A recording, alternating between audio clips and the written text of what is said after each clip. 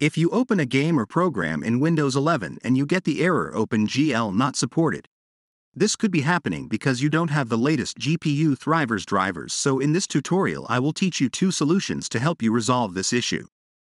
First open your Start menu and type Device Manager. Open your Device Manager. Expand Display Adapters.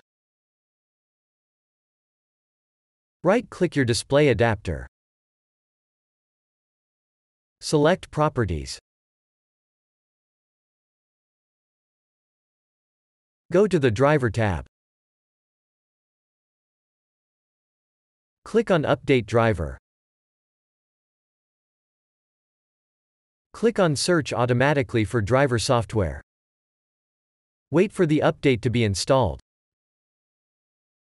You can also click on Search for updated drivers on Windows Update.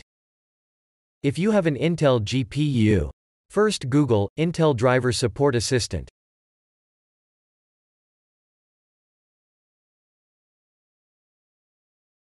Open the first link.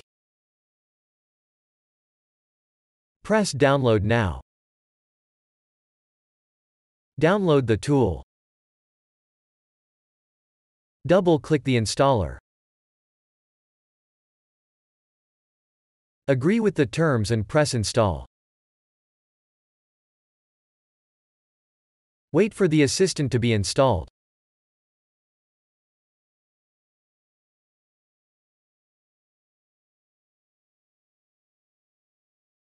Press Launch to open the assistant.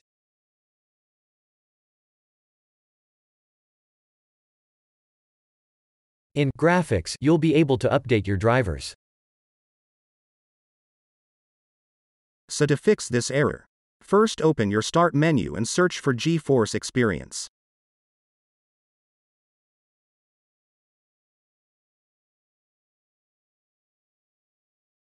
Click on Drivers. Press the check for updates.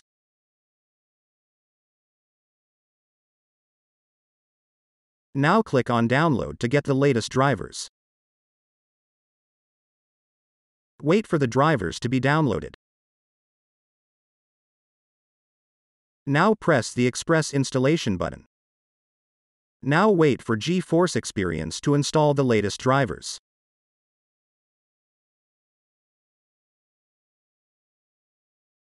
This tutorial helped you. Be sure to like and subscribe.